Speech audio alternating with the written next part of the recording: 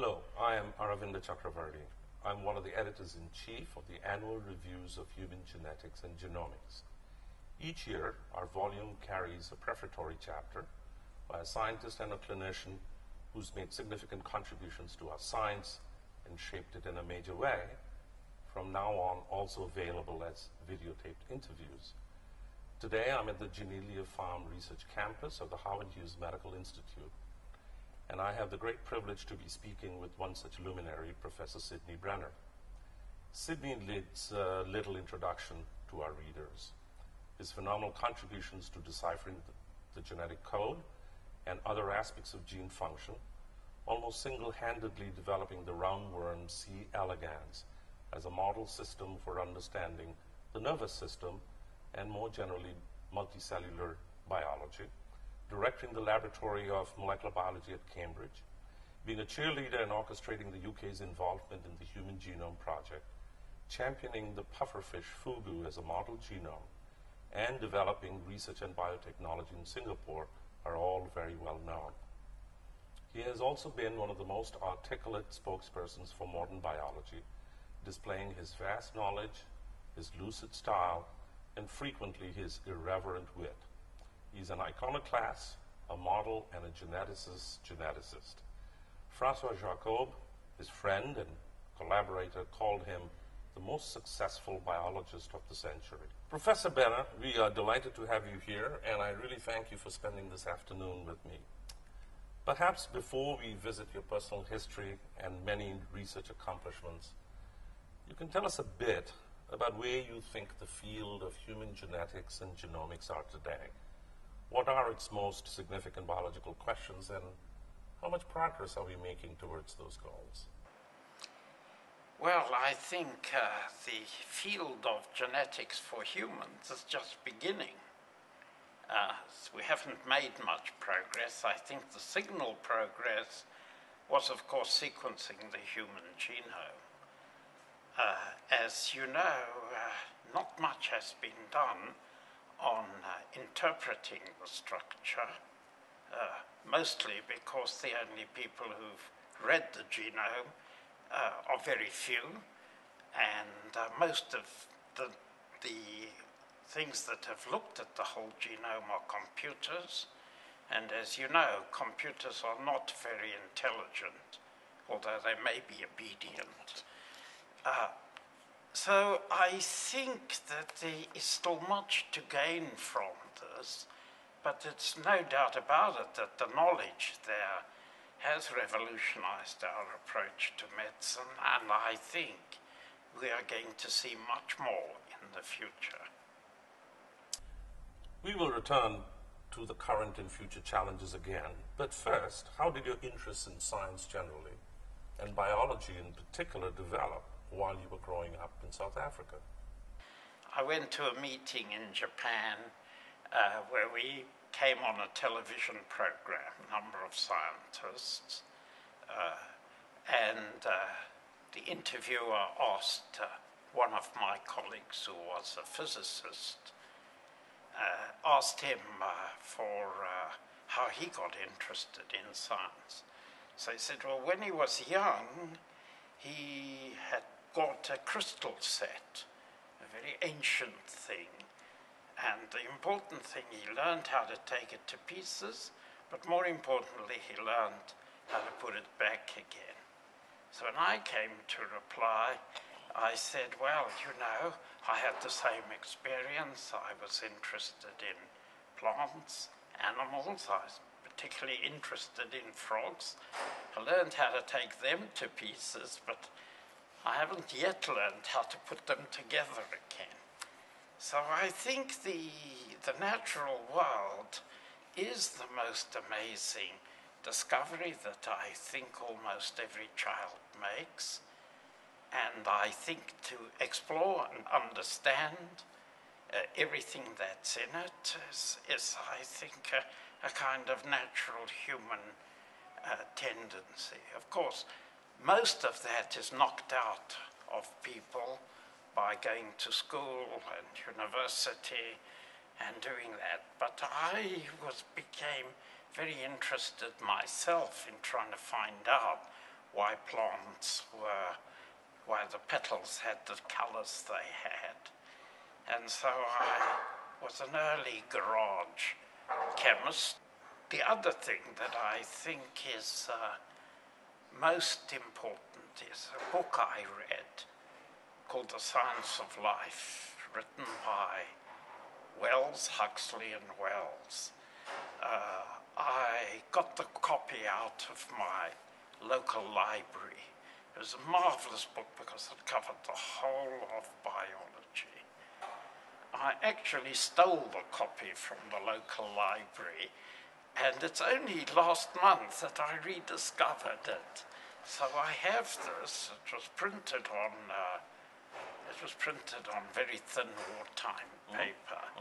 Uh, and I think that that opened my mind to, to everything about living animals, living plants, and of course, uh, it also opened up the whole of evolution to me, because that was a, a very important part of the upbringing. And I had become interested in genetics at a very early stage, so that when I finally got the opportunity to do some research, I got into, I was the first person to do cytogenetics in South Africa, uh, learning, studying it from Darlington's book, and also using this little book of Darlington and La Cour to uh, look at chromosomes. And in fact, I uh, worked on a little animal called the elephant shrew in South Africa. So, were there particular people who urged you on in this, or was this Well, largely? you know, this was all, this was all very uh, spontaneous. Certainly at school, there was no one to do this. At university, I came because I went to study medicine. It was the only, it was the only uh, uh, subject I could get a, a bursary because my parents uh, were not very well off, and it's the only this bursary allowed me to pay the university fees. And so I would get up in the morning and ride my bicycle and then uh, catch an early morning train, about 7 a.m., so I could be at the university in Johannesburg in time for the first lectures, which were at 8 o'clock. And uh, bringing sandwiches for lunch, and of course, commuting back at night. And uh, that was, uh, but of course, there I was learning about real things chemistry, physics.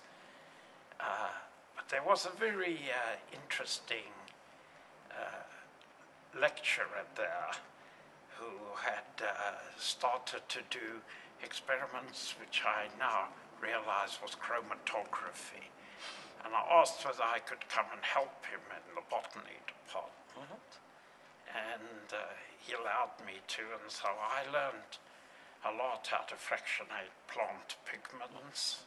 Uh, it was very early days. And later, when I started to do my own research, because I had to deviate from medicine because I was too young to qualify, as I started university when I was 15. And I learned how I built my own ultracentrifuge. And I had a real great uh, pleasure in doing science for myself, uh, learning what had been known by reading books. It's a habit I've never given up. And I think that this is one of the most uh, big differences from today. Today, you have to go to a course or you have to do this. But the idea that you, everybody, anybody can be self taught, it's all available, that's what libraries are for. Uh, that is now gone. Everything has been formalized completely. And uh, we did a lot of interesting things there. Uh, and of course, I did, wasn't a very good medical student uh, because I spent too much time in the lab doing experiments. So I came to my final years uh, of examinations. I did. I failed medicine. I had to go back for six months to do it, and uh, I did complete it uh, in 1950, and then really felt I must go abroad. So, sometime during this uh, same time period, you came across some uh, remarkable intellects in paleontology and Yes, well, the- anthropology as well. Sure. The person who taught us uh, paleontology in the science here, the head of the Department of Anatomy was, of course, Raymond Dart, uh, who, and we were amongst his students, got him interested again in this field because he had discovered the first Australopithecine. That was 1929. And we organized expeditions to uh, Makapansgat and also to Sterkfontein. And uh, we uh, got interested in this, and in fact, it was very, it's a very fascinating subject. Robert Broom uh, himself was a paleontologist, and he taught us uh, the paleontology, but he had amassed huge collections of dinosaurs, mainly by getting in with the construction people who were building roads. And he was an expert on this, and of course, had discovered early hominids uh, in the Sterkfontein uh, region.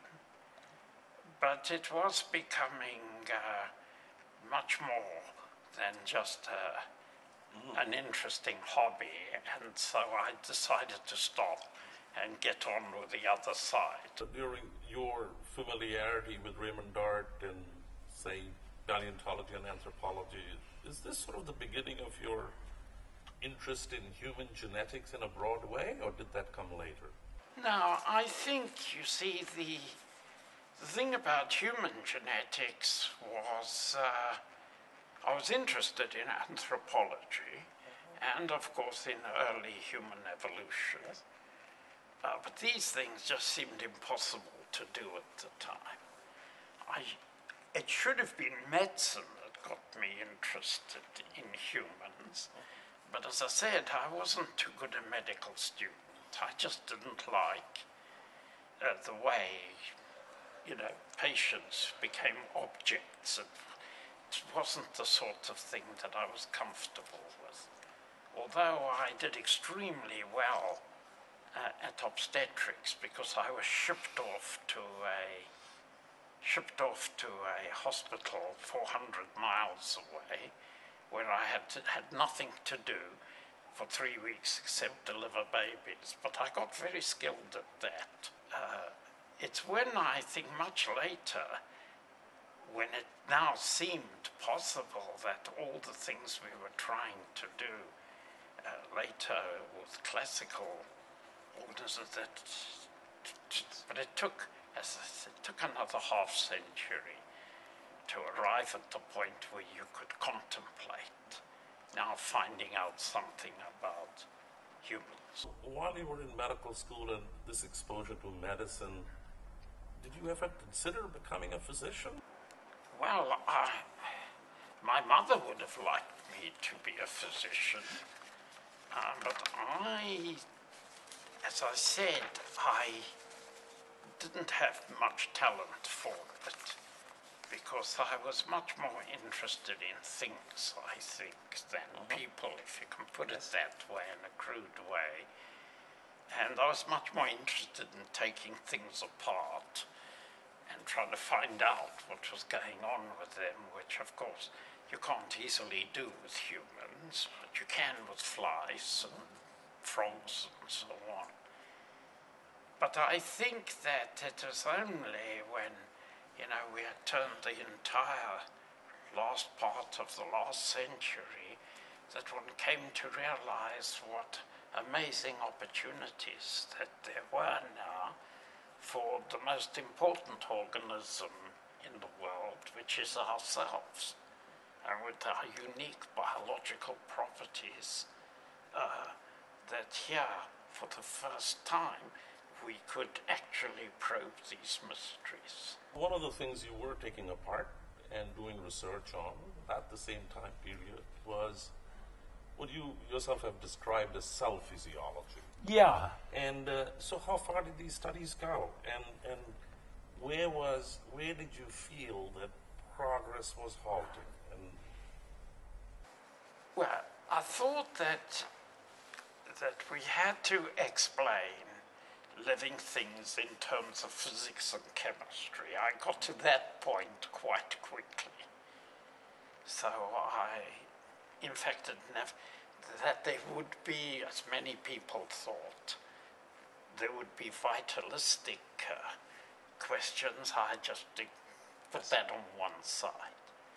But a lot came from reading the books, uh, the s- book that uh, Joseph Needham wrote called Biochemistry and Morphogenesis, and all the writings of Waddington.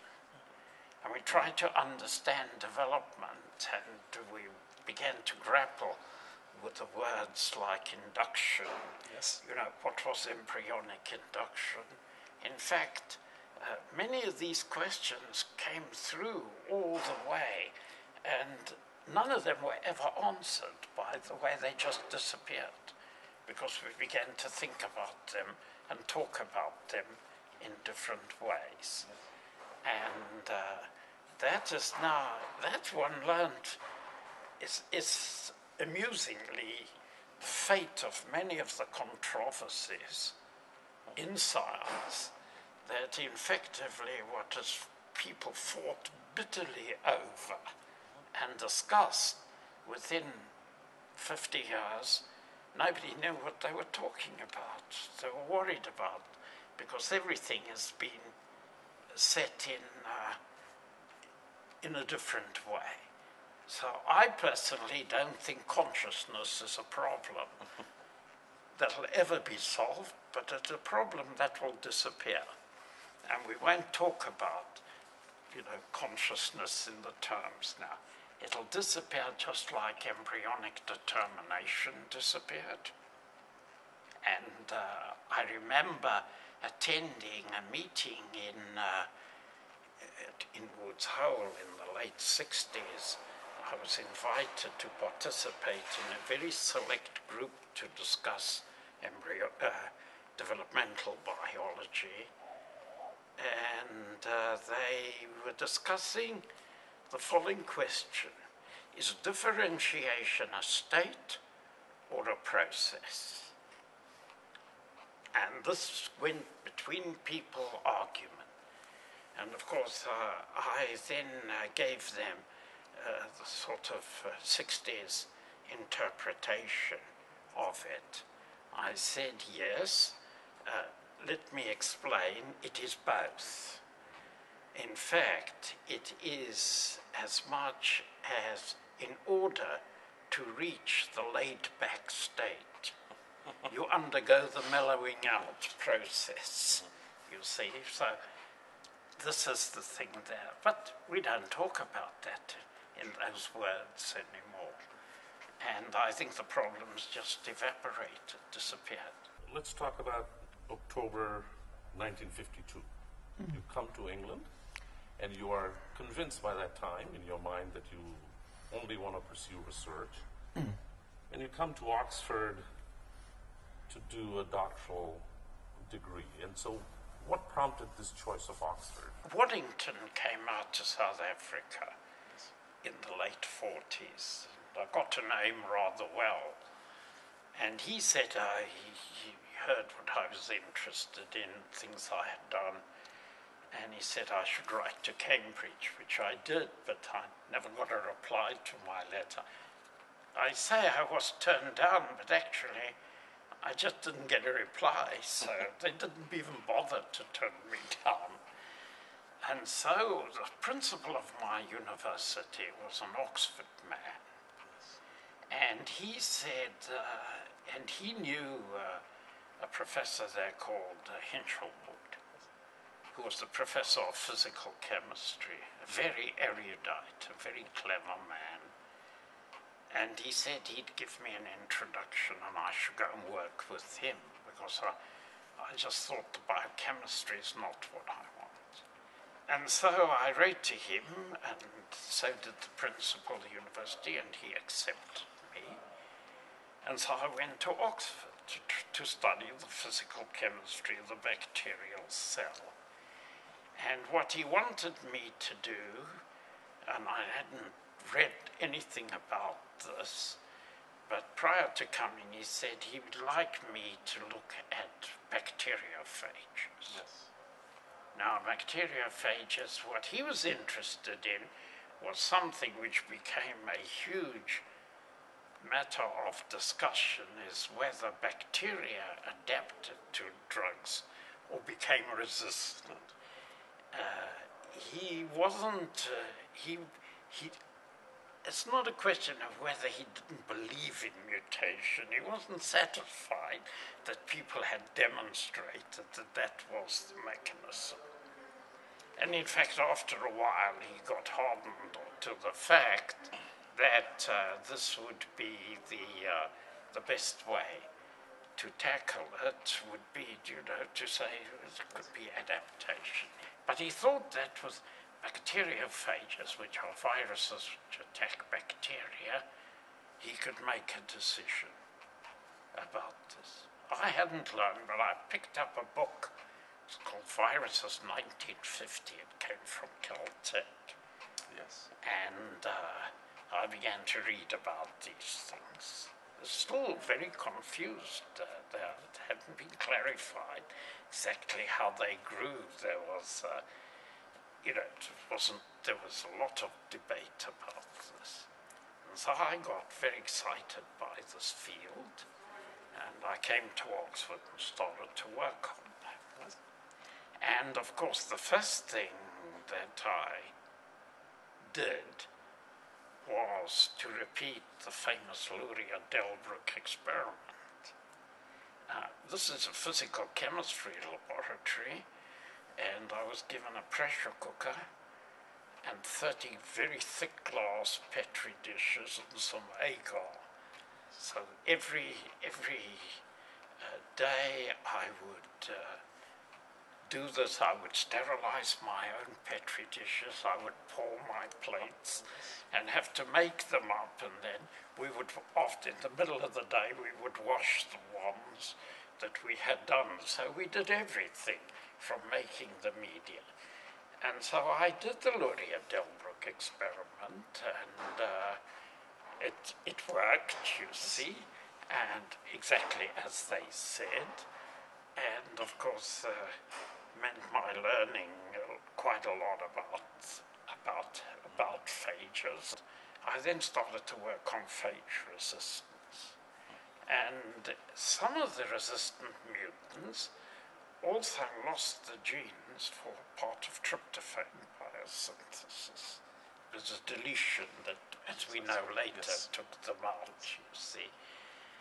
And of course, I got very interested in this, and so I started to work on biosynthesis of tryptophan on the side, and also on the biosynthesis of, uh, of uh, glutamic acid. So uh, this uh, led me to do things which I was pretty accustomed to. Uh, in South Africa, if you wanted to make it, get a chemical, you got into a lab and you made it. But I had a friend who worked across the road in the Dyson Perrins laboratory, and he introduced me uh, to let me use a corner of his thing to make to make this intermediate in tryptophan biosynthesis. And there's a very famous chemist who was in charge called Robert Robinson. Yes. And he came around and he asked me what I was doing, and of course I told him. And uh, he didn't ask who, you know, why you here. He just thought I was. And, he, and so I quickly, you know, finished my synthesis and cleared out across the road. but I'm told that he kept on asking, you know, where's that young guy? He was very interesting. You see, he was interested in biosynthesis. And, you know, and he thought you could, that there would be interesting ways of making these uh, alkaloids. And he proposed various things, which, by the way, were all wrong. It's not made that way. But as I say, this is where I began to learn the nuts and bolts of this. And I finally proved to Hinshelwood, uh, to Cyril, that, uh, that there was a difference between resistance and tolerance. And I put it to him in the following way. I said it's the same as the difference between chastity and impotence. Okay? The end result is the same, but it's the difference between can't and won't. You see? And adaptation is willing, Yes. you know, you do this. But of course, uh, if you just cut it out, you can do it. So I learned that, and of course, it, it wasn't the thing you'd likely say to a very distinguished professor in Oxford of those Precisely. days. But he was, he was, I think, slightly amused. And I've used that often to distinguish, you know, in many debates, uh, when people say, we will never change the germline of man. Is it chastity or is it impotence? Because if they could, would they? Of course, if you're impotent, you can be chaste. You have written that um, that Oxford wasn't especially interested in scientists in those days. Mm. Graduate students in the life sciences, in particular, were considered second class. Mm. And being South African, I gravitated a lot to the colonials, and of course, we were in the second division of the second class. Mm. Now, this is shortly after World War II, but I'm wondering whether you could reflect on why Well, the biologists were considered Well, in this way. well, it was all scientists in Oxford. See, Oxford's a very different place from Cambridge. Uh, Oxford, uh, you had to be an, an arts man and uh, study, you know, the art subjects. The undergraduates were the idea of being a graduate student. This was very very often. I think what I've said is that we were three times over outsiders. One, we were graduate students. Two, we were doing the sciences. And three, we all came. We were colonials, you see. So, fortunately, there was a place called Halifax House, uh, which had been set up, Precisely, yes. and in which people could uh, go and take lunch. And that's where I met most of the interesting people in Oxford, in the sciences. Uh, So this is where you met and came across Jack Dunitz and Leslie Orgel. And Yeah. so how did that change your view and your well, no, research? Jack was also, Jack was a grad, Jack was a postdoc, which was even worse, that he was, he was neither a teacher nor a scientist. Jack had known, uh, Leslie was an Oxford man, he was a theoretical chemist. Yes. And Jack had the connection. Jack, uh, had, as, as I said, this I came to Oxford having two theories about DNA, both of which were wrong, but at least I had some theories. So, Pauli, who made the joke that uh, when he criticized someone, he says, Your theory is not even wrong. But I at least had two wrong theories, so I still stand hard. And uh, what I think is uh, what's interesting about that uh, that place uh, was that Jack had been at Caltech, and so he knew Jerry Donohue, and he knew all about Pauling and so on. And he knew Leslie. In fact, they were collaborators in certain things.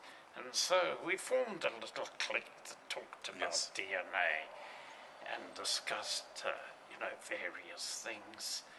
And then Jax came and he said, he was, he told me, I can remember it, it was in my digs, it was a very cold night with a one gas fire.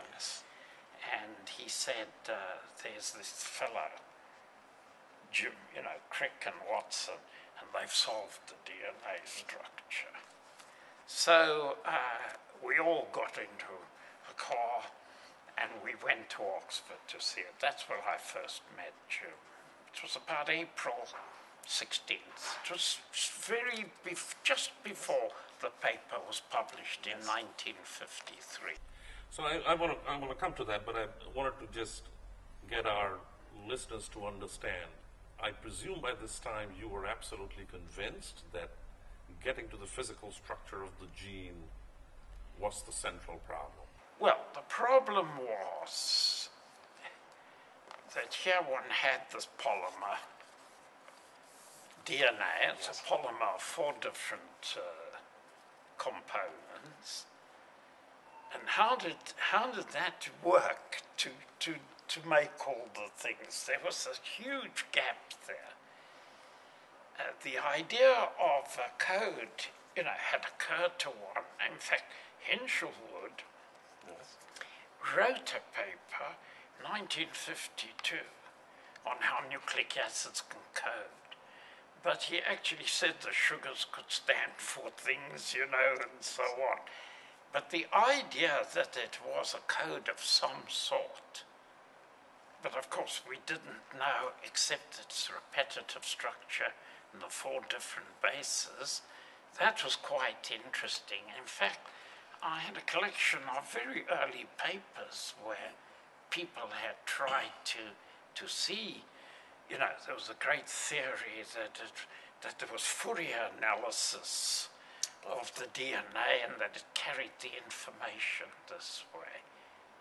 But of course, that once you saw the structure, it just all snapped into things. Well, I knew that nucleic acids, because I'd worked on them, had something to do with protein synthesis. I had actually done work on that myself to prove that all these big centers of RNA in the cell were the same as these little particles that uh, people had isolated, Claude, and had isolated and called microsomes at the time. And there was all this writing that, uh, tissues that did a lot, made a lot of proteins, like the pancreas, were loaded with RNA as neurons. So we we knew there was this rough relationship. And in fact, I thought there was a code. And in fact, I tried to write one for this because I thought I got, I got fascinated by the same as the repeat distance, the chemical repeat distance. And so I actually tried to make, that's one of my wrong theories, that the DNA uh, the DNA was, or nucleic acid, was synthesized in parallel with the protein by using a combined amino acid nucleotide high energy phosphate, you see. Uh, But I mean, that's totally wrong. And of course, Dounce had written that there was this. So, so it, there were these ideas that at that level, but until you saw the structure, boom, you know, it all became clear. This took less than five seconds. Immediately, you could see that there was some kind of linear structure, and immediately we could ask questions like, you know, how does this make proteins? There was a little bit of protein sequence information, but it didn't take very much longer than that uh, to get into understanding what Francis later called the adapter hypothesis, but now we're, we're much further along, we're about a year later. But as I said, that was, uh, that was an amazing structure. And uh, I asked my, uh, I asked my Professor Hinshelwood what he thought about it. He was not impressed at all. You know, he said, well, that's it. But because I don't think he really got anywhere near this conception of that you can reduce, so to speak, a human being or a fly or a plant to the sequence of things. So it was an absolute revelation. So would you say that um, beyond what it's taught us since, that this was sort of the moment when it was quite clear as to what the importance of molecular biology was? Well, I think molecular biology was created by the DNA structure. You know, because it became uh, it became central to everything. And anybody who's still thought, as lots of people did, because what most people don't realize is that nobody took it seriously to begin with. It was just, uh, uh, it was just, you know, a passing thing. Uh, You for mean the many structure? people, everything said about DNA, you see, the, the structure is there. But of course, the interesting paper, The Biological Consequences, was only written a few months later, published a few months later. I'm told that they wanted to do it all together, but because of the X ray crystallography, they decided to separate this. Because it's a second paper that contains the real guts of what it is about replication, mutation, and of course, uh, trans- translation into, into the protein language, you see.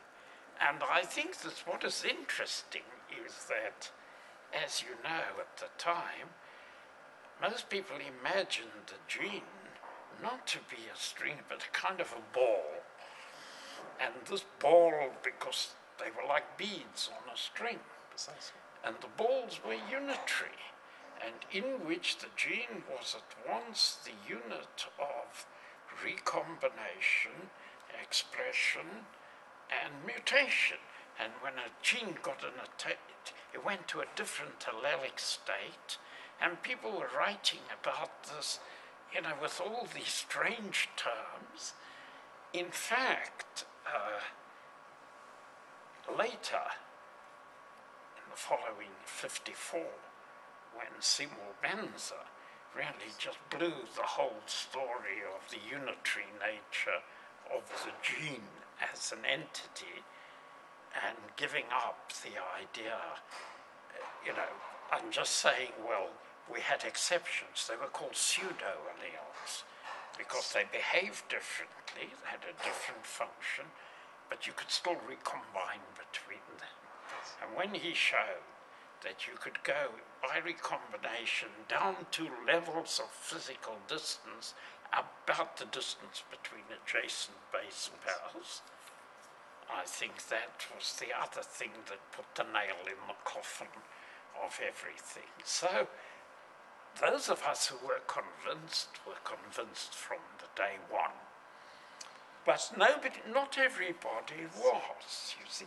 And one of the few people, I mean, I had uh, many days, many years later, uh, the opportunity, Francis Crick uh, had been put up to be a fellow of my college in Cambridge, King's College, and he didn't get it.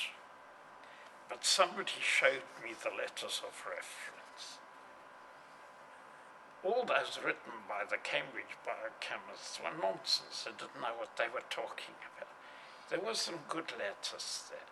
But, you know, one of them said, this could be a flash in the pan. You know, we don't know.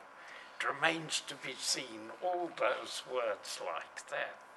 Instead of, uh, you know, recognizing this as the, the light that, uh, that would enter everything. So I, I just wanted to speak about that time just for a, another minute or so. Uh, there was obviously the famous Erwin Chargaff, and Chargaff had apparently said that people such as yourselves and Crick and Watson and molecular biologists were practicing biochemistry without a license. Yeah. And Well, why did this come about? Well, because you see, Chargaff had got what is called Chargaff's rules. Yes.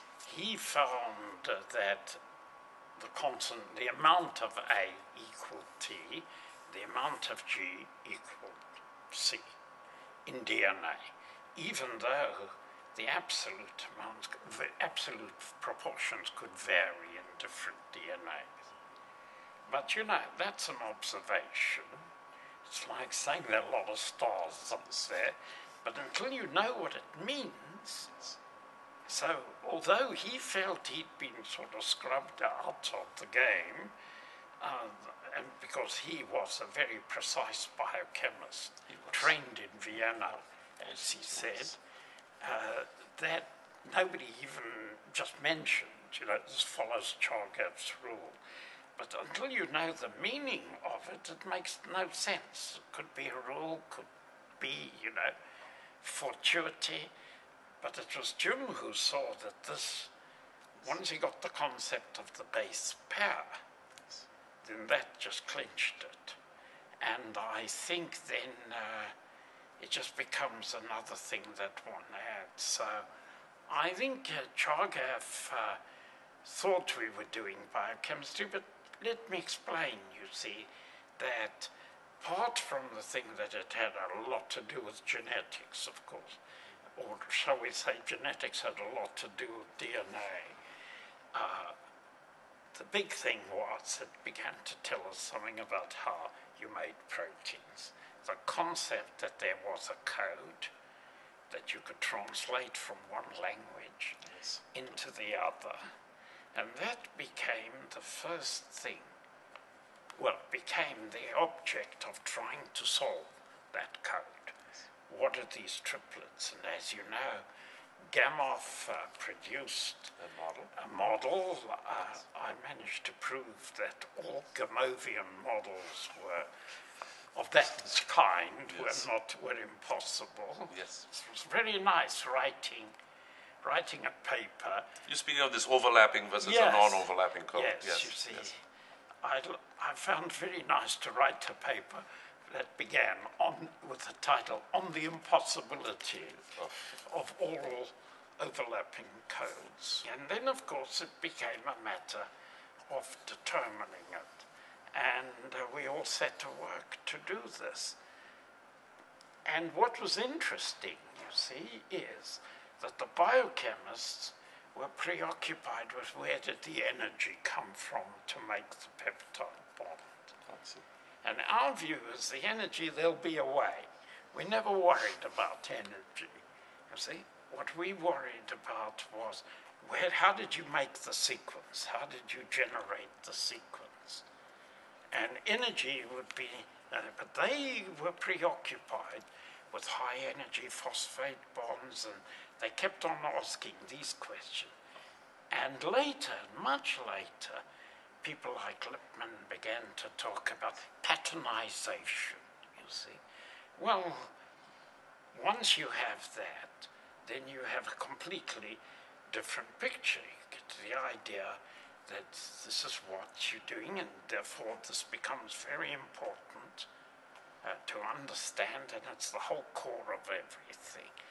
But as I said, uh, it had got so bad that when I used to go and give later, when I returned to Cambridge, uh, 56, I used to go and give talks in London, and people would say, Where are you going today? I said, I'm going to preach to the heathen. see, bring the light. And I think it was a very small group initially that really got to grips with this. And uh, it's just, uh, you know, and when you think about it, by 1961 it was all over. It was all been done, in principle, you see. And some of us had begun to think of new things to do. And if you think it only got going really in about 1955, 56, we're talking about five, five, less than a decade to just revolutionize the whole lot. And that's been the picture ever since.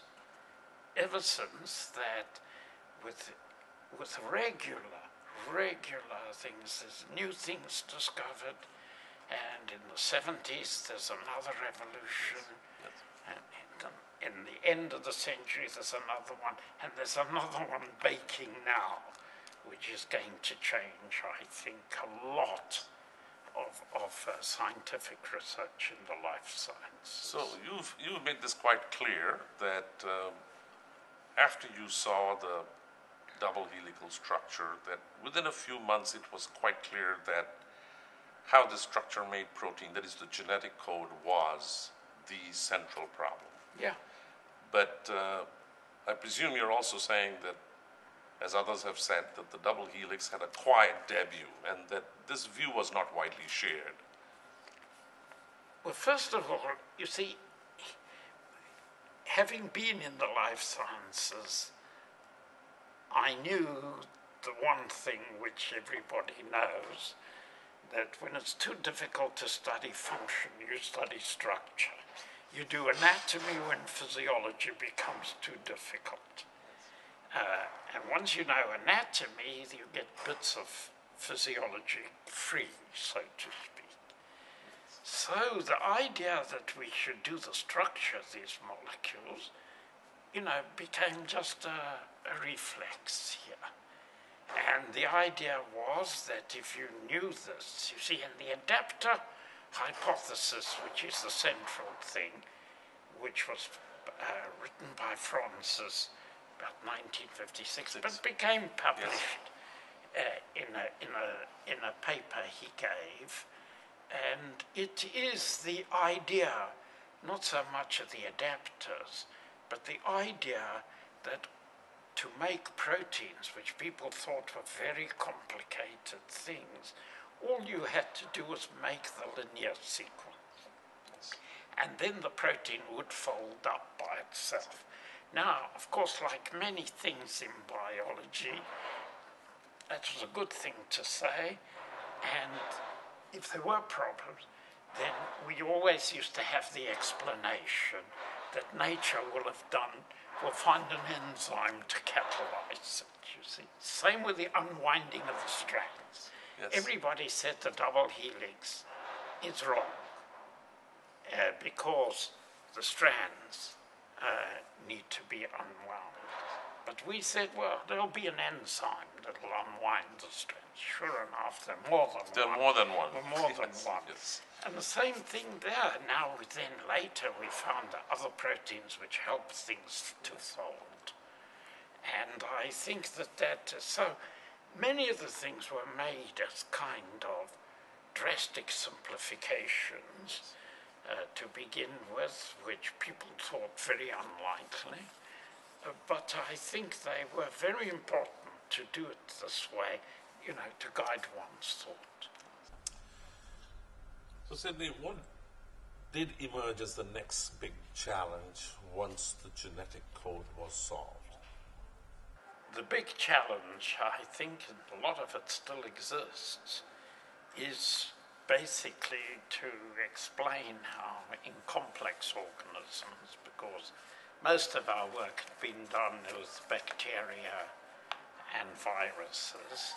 In complex organisms, how is this DNA tape translated in an organism which has lots of different cells, all coming from a single cell?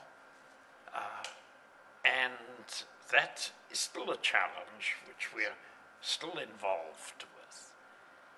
And in order to do this, and especially in the most complicated cellular network of all, which is the nervous system, because uh, in, in most organisms the nervous system is built under instructions, so to speak, from the genome, and uh, understand how that is implemented, and what is more, understand how it evolved.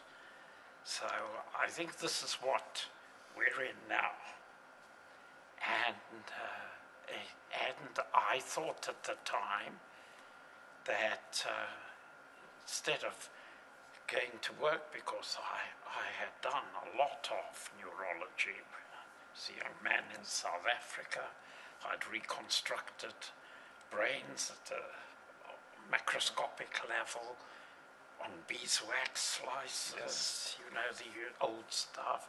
I knew how to use the camera lucida, but that was all. that was all something else, and uh, what I needed to do now was to find an organism that I think we could tackle these in the same analytical spirit and methods that we had developed in the molecular biology of microbes. Uh, and I think that uh, I set about then looking for such an organism. And F- Francis Crick and I had long discussions about this, you know, what next to do. Uh, we dismissed many of the things like the structures of the ribosomes. We said, oh, there'll be a lot of Americans will come along and they'll do it all.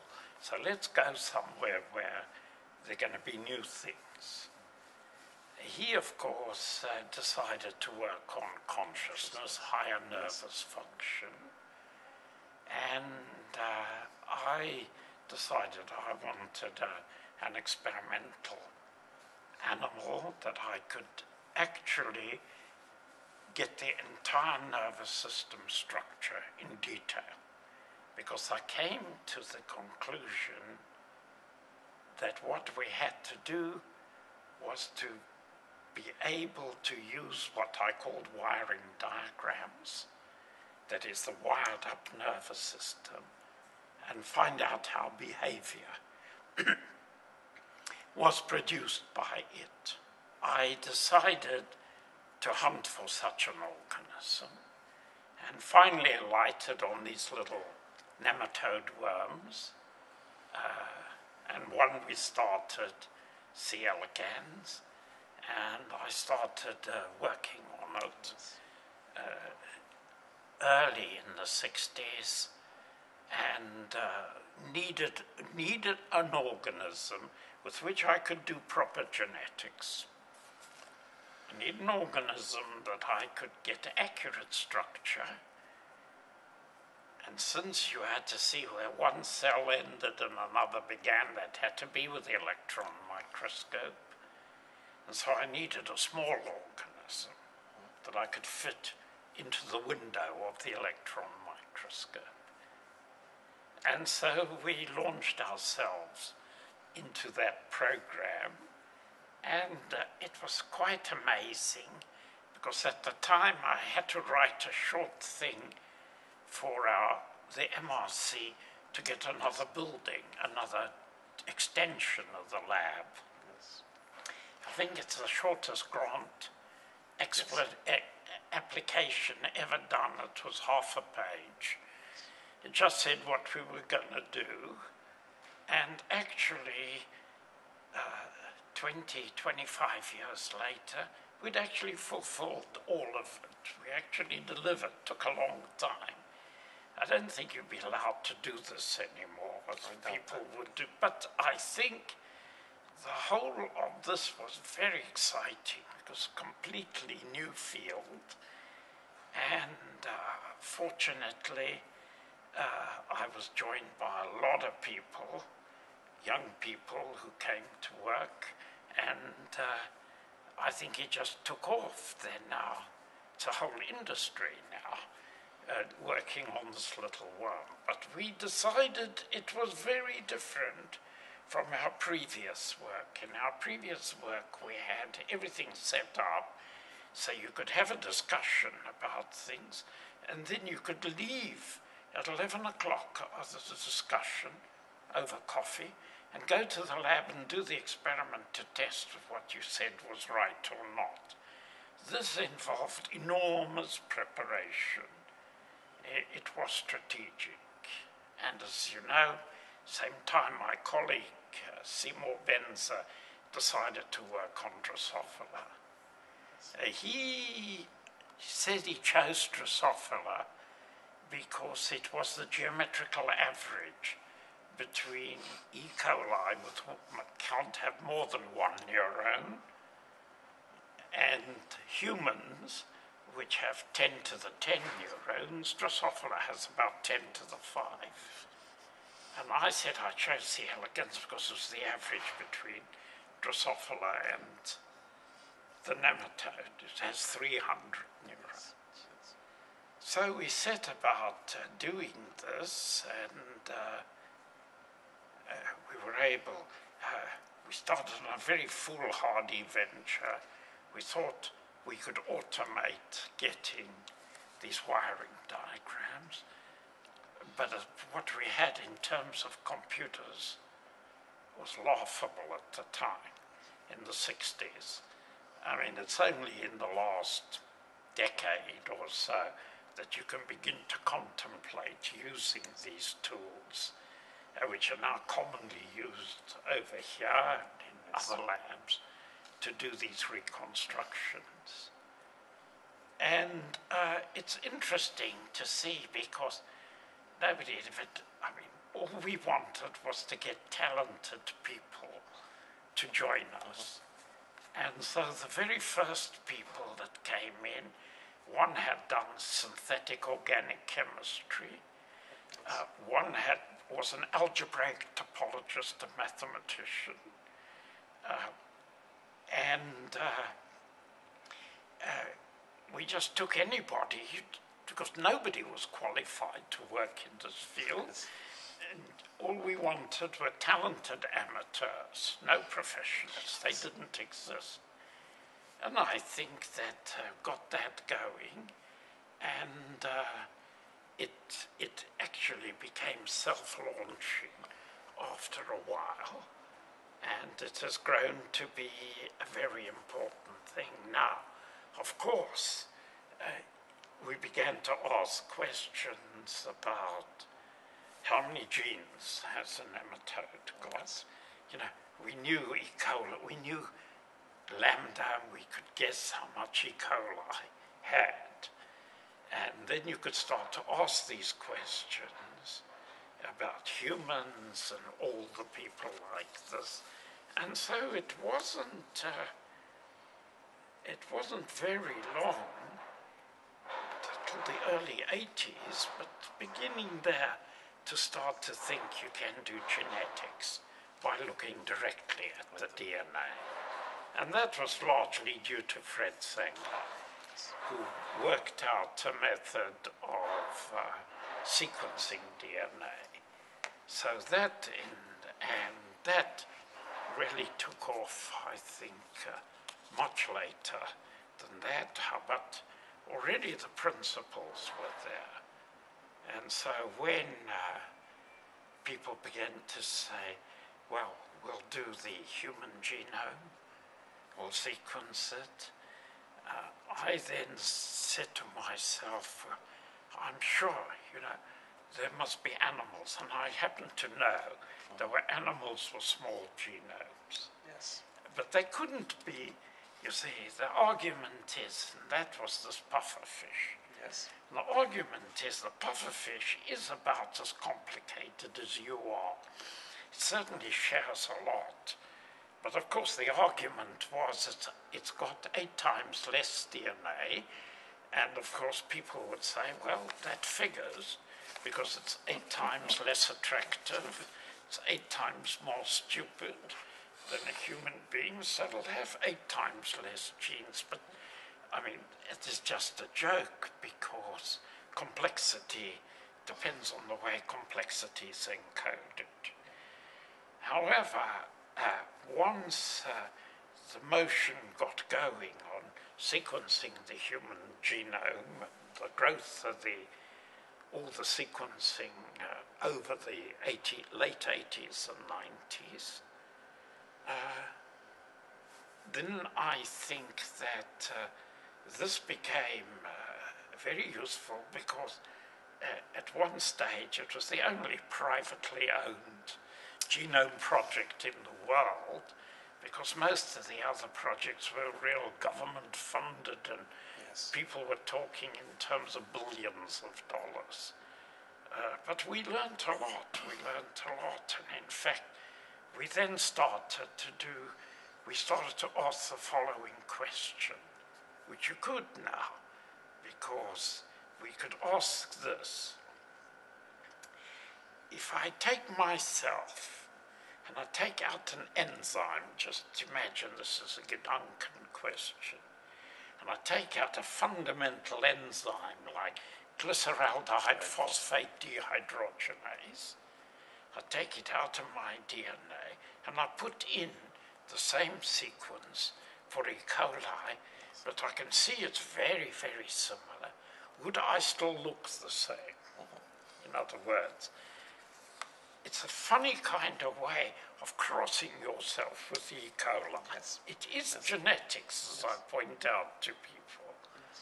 So the question arises uh, can I do the same? Can I cross myself with a fish and see what's common to us? Yes. Because then I'll know.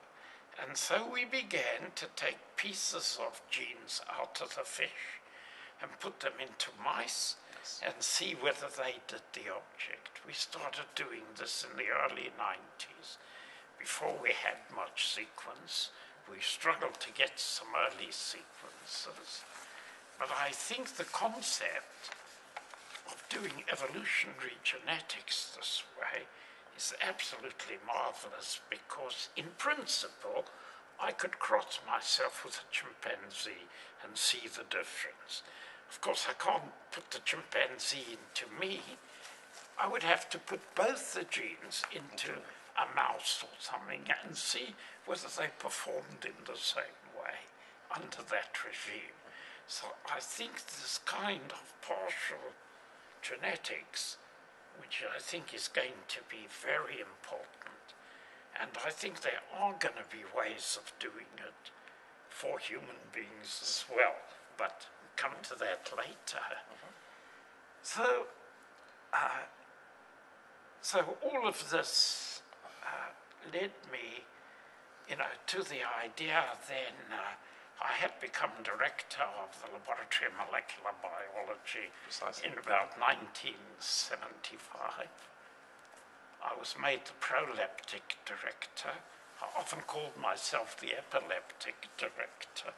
That is, uh, uh, I was took took over the finances and so on. We were in terrible mess. Our lab was being underfunded to the extreme that we spent most of the budget before we actually started the year. But anyway, I then had I then uh, was decided when I was 58 uh, what I wanted to do because in the Medical Research Council, the uh, directors retire at 60 unless asked to carry on. So at 58, I said, no, I want to go at 60. I've had enough. Seven years is long enough. And uh, I'm going. And uh, what uh, you should do is uh, find another director, and I'm going back to science. And I never regret that because I've learned a big lesson. Never Yes. retire from any job unless you've got the next one fixed up. Yes. And then I think, and so I've been doing continuous science uh, since the day of my official retirement from the MRC, uh, which was in 1992. So I've been retired officially for 20 years. And as I say, often I regret that I have not just reached the age of retirement now because I'd have still 20, 20 years, more years, of good research. So I think that, uh, that that is the important thing. Now, what I think is, and just will say, if you know, a few words on the human Yes. So, once I think we had the sequence, and once, because you have to remember people said when we get the sequence, of course it became obvious we would get all the proteins. That had become obvious right from the early days that you won't have to make a pro- you won't have to extract a protein anymore. You'll just make it. You'll make lots of it. So it opened up the whole of structural studies. And I think that uh, once we had the, the sequence, uh, people then said, well, we've got to find out about disease. And of course, there are two kinds of diseases. Diseases we know quite a bit about, uh, called Mendelian uh, diseases, uh, single monogenic diseases.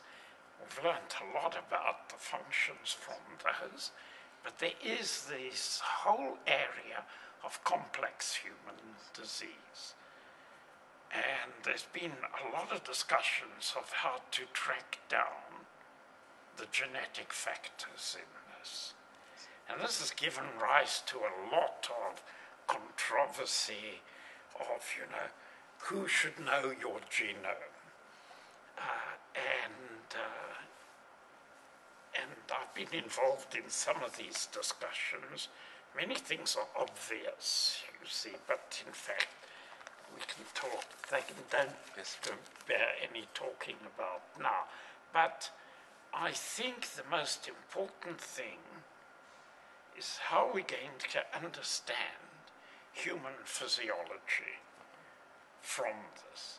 And the first thing you have to do in terms of human disease is we are the first organism who has escaped the bonds of Darwinian evolution. Right?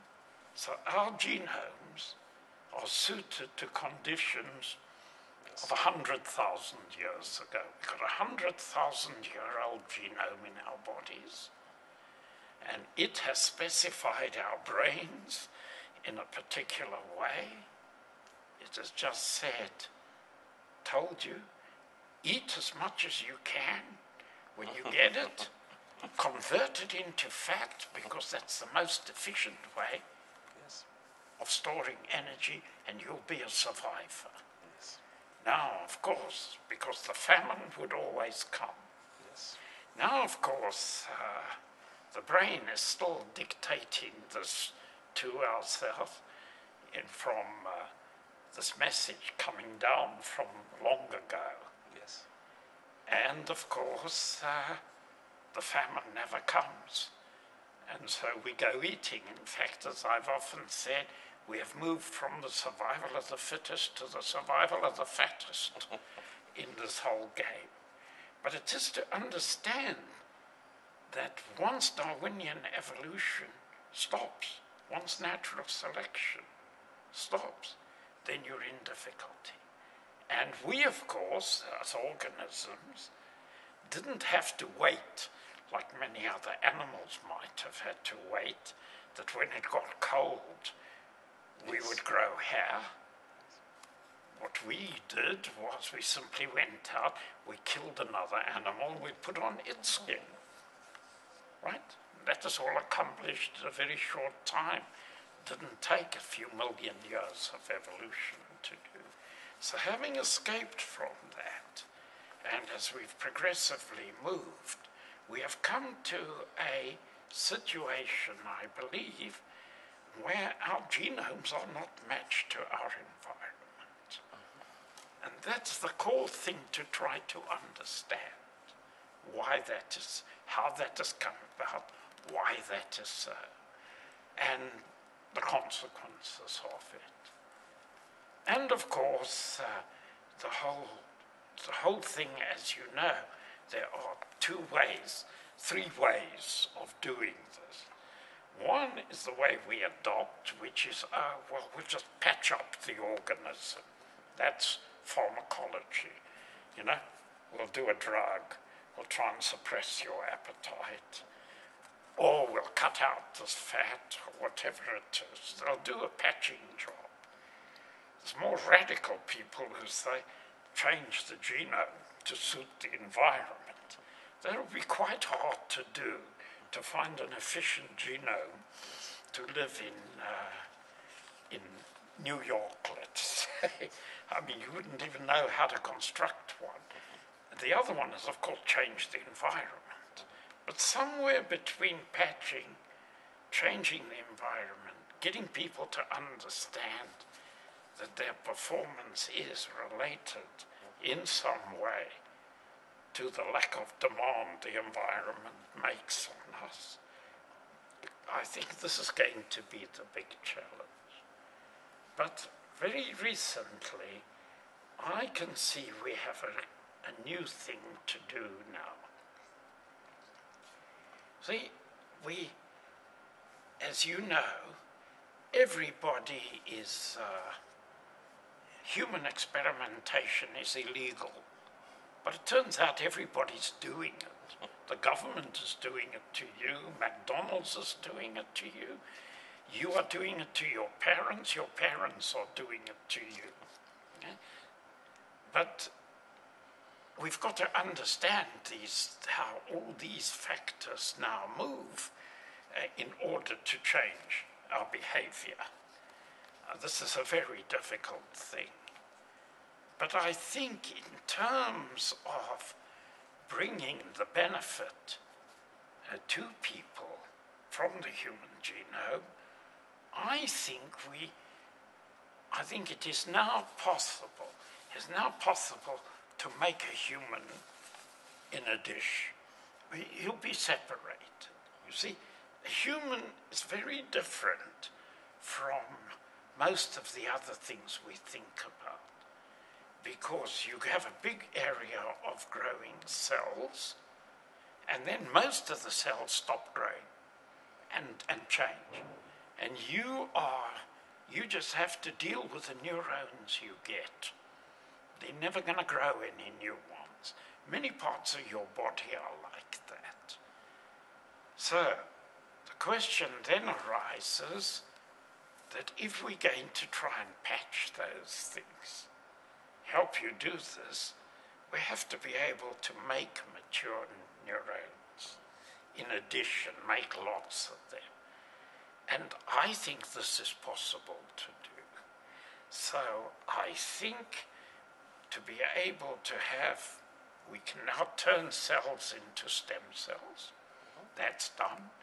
We're beginning to learn how to take these cells and I would love to make all the components of the retina in separate dishes. I believe this to be possible. But this will be a way for us to understand at the molecular and cellular level function in man without being invasive. I mean, perhaps terminally invasive in some cases. And I think this is a marvelous thing because you know, so somebody finds, say, there is a mutation, and they say, oh, genetic background affects this. Some people have very bad, some people don't have bad. So what we should do is take our cells, make the mutation in it. We don't have, make it in different backgrounds. Yes. And see if we can study the effects yes. of the interaction, but we have to make it so it works in the target cell, not just yes. in any old cell. But I think that this will be this will be the thing to do.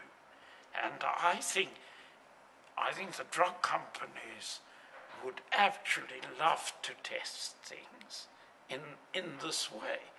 Because they test things on mice, but but as you know, many of the things don't have, are irrelevant in terms of man. So we're at a kind of interesting stage where we can get hold of the genomes of humans, we can get hold of their final physiology and study them in the clinic yes. or in groups, but the missing mechanisms in between are hard to get at. So if we can fill that gap, we'll come to understand.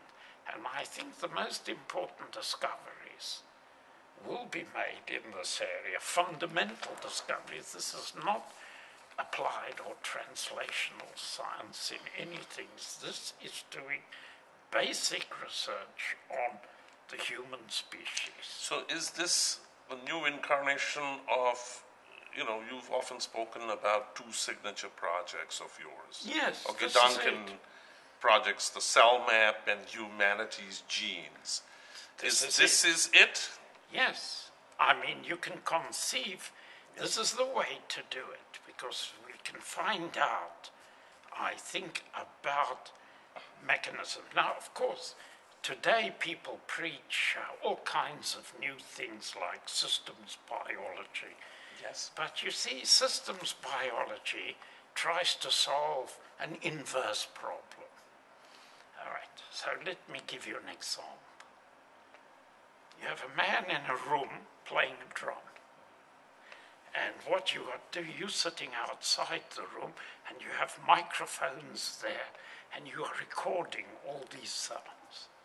And you're asked to say from the sounds, what are the physical properties of the drum? That is the inverse problem. Because given the physical properties of the drum, I can do the forward problem. I can generate these by the application. Now, I can't get it get the other way because, first of all, there are cancellations, there's interference, I lose information on the way, and I can't devolve it, I can't deconvolute it. So, I think that this is exactly the same. It is very hard to find the internals workings of a system without you having a good model for, for how to interpret this. And I think we are very good at the forward questions. We've had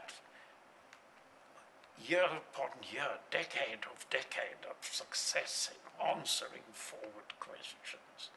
And I think that is still the route to go.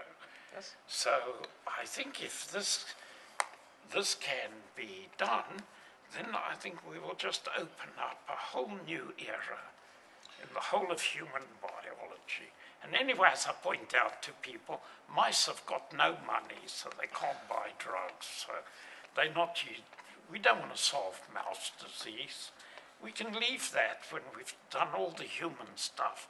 We'll still need to amuse ourselves with science. So, if we are going to go forward and do this kind of human biology and disease biology and mechanism, let me ask you a couple of questions about uh, how to go about doing it. How to go about in the following sense. You've spoken about and written um, about this aspect, and you've often given advice to geneticists and others that your preference uh, has always been to do a single good experiment that gives a precise answer to a well formulated question, as opposed to a mass attack on parallel fronts to provide a database of all information.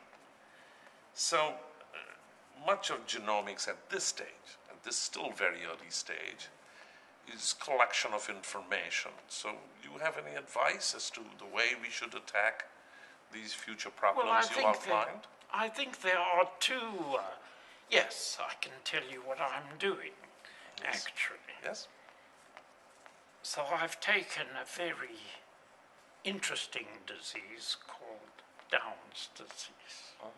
Right? Now, people with this extra chromosome, it's about one in 800. Fortunately, a lot of them are diagnosed. Yes.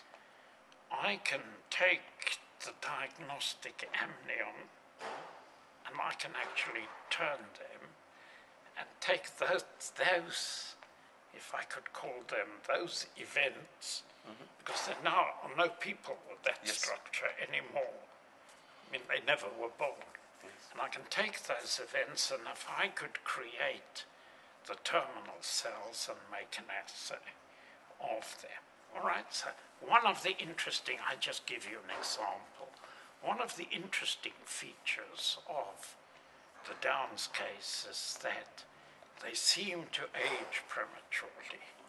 Uh, they most get Alzheimer's, and it's typical Alzheimer's in their 40s. Yes. Okay. Now, in Cambridge, as a group who've taken Down's uh, stem cells made from Down's patients, they've then uh, uh, turned them into neurons.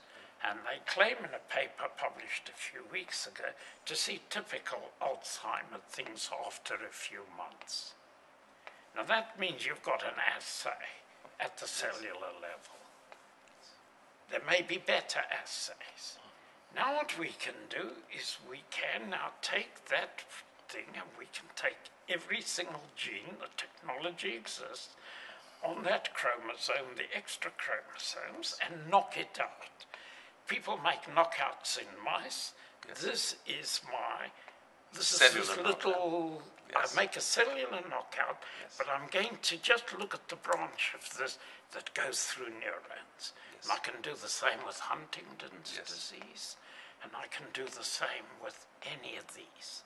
So I think that is the paradigm. The technical problem is how easy is it to make eyes or bits of eyes in here? That's what's going to be needs to be developed. But I can see that, you know, that I think is just technology. People, we've got a way, I think, of doing this. But then we can answer this question. We can answer it very, very clearly in this case. We can also, I mean, this is already can be done. We can take any person and turn and make liver cells from him. Yes. Okay, and then we can ask, how does this liver cell handle exotic chemicals? So that I think we can actually investigate all of this. Now, of course, there are systems, whole body systems problem. We can't reconstruct his blood pressure, but we may be able to reconstruct pieces of arteries that show that act as signals for this. The field is wide open, and I think this is really what Yes. one needs to work on. And I think everybody should down tools and get on with it. What's preoccupying you these days and the next sort of scientific challenges you see? Is mostly um, most of these problems having to do with trying us to infer or rather figure out what the genomic information means Yeah. using at the cellular level at least. Well, I think there is another level which I've been working on for a long time, which is, uh, as you know, large bits of your genome have been duplicated in the past. And I think I've been doing a very detailed discussion, uh, analysis of this.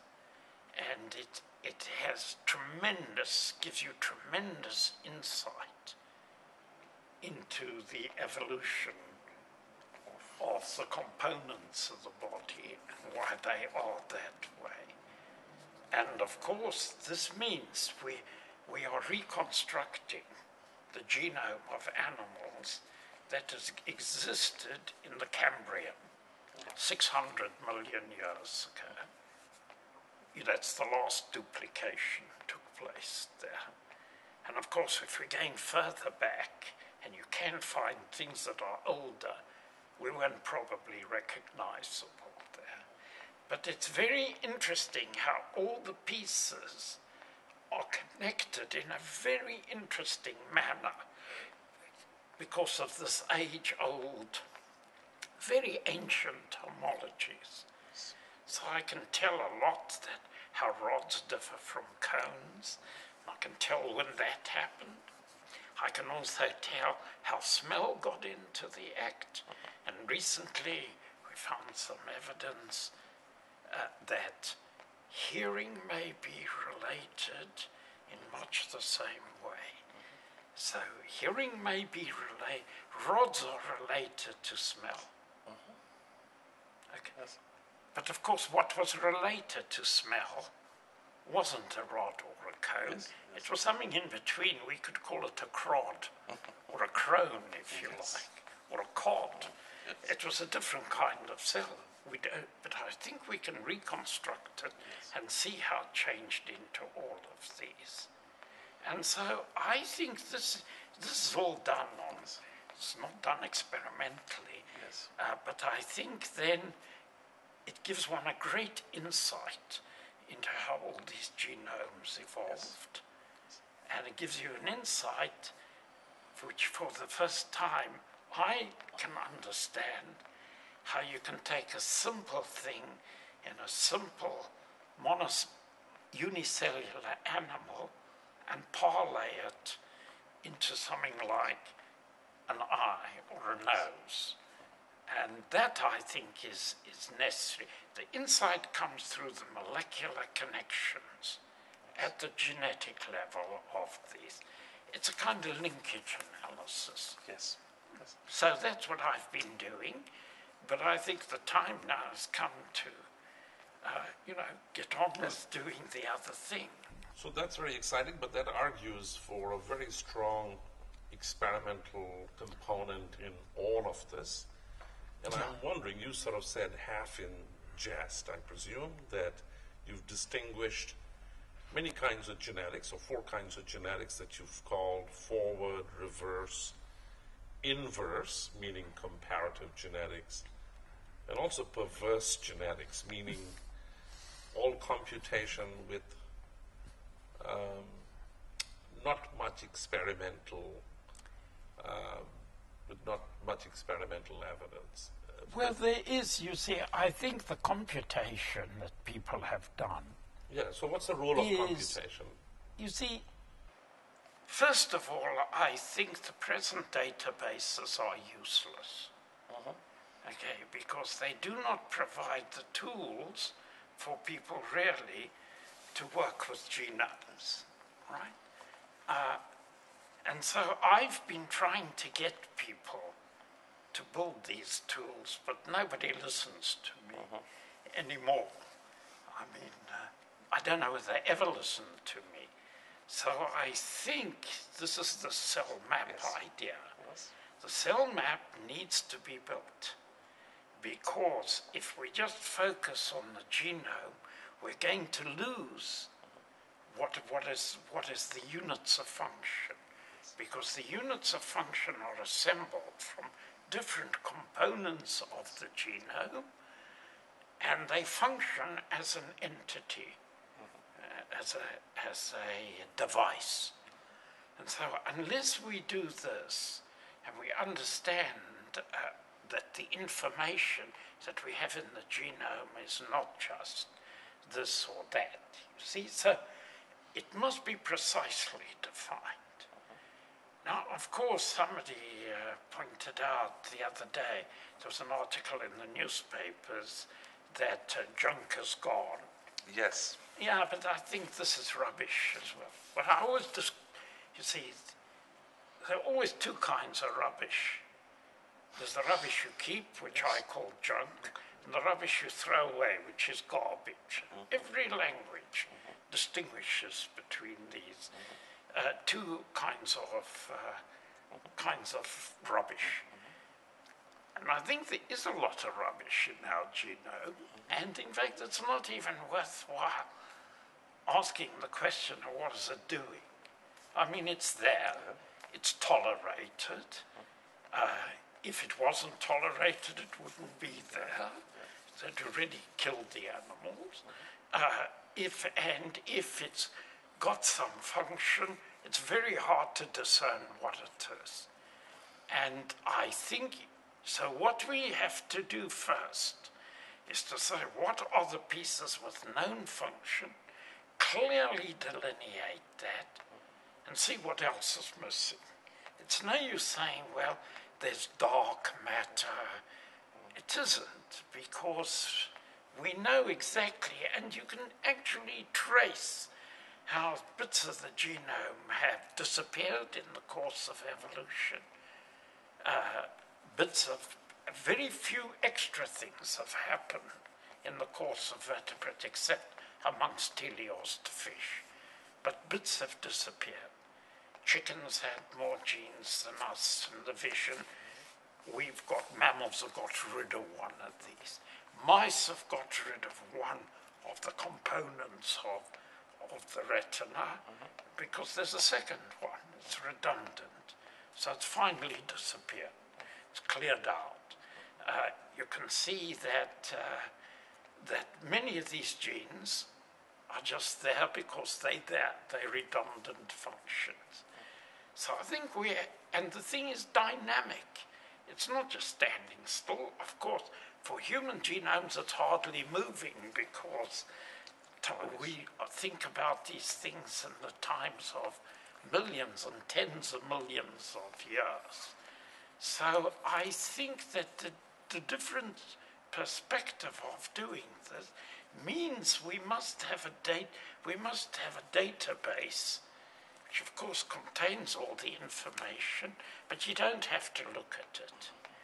You can have it abstracted, compiled, is what I would. We also need a way to manipulate this data just so we can get it into our heads at the same time. We want to be able to compare things. It's now terrible. You have to log in to different internet things. It's a waste of time. And I, I, people love the internet, but I'd like to have it all in my computer. And I can carry around, I carry around the whole of the human genome in my laptop. And I could carry around much more with this. So I think there's a lesson. And then, of course, there is a very big challenge, which I, which I don't know how to do, except how are we going to communicate all of this to the people who are going to use it? How are we going to teach students? Do we want them all to learn the hard way? Can, can we get a shortcut? Can we get a concept of this? And so I think there are big challenges to be met. And unfortunately, since now, if it's hard to find people who will take these things up because it's much easier just to do the same thing again, you see. And that's what I think we're going to need. I feel if we continue to import people from other fields, like engineering, who think differently about these things, into biology, it'll be of benefit to us. And that's the only hope. So that's a great place to end our conversation.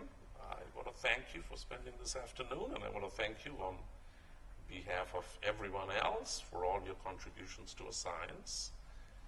And we wish you a long and healthy life. Thank you.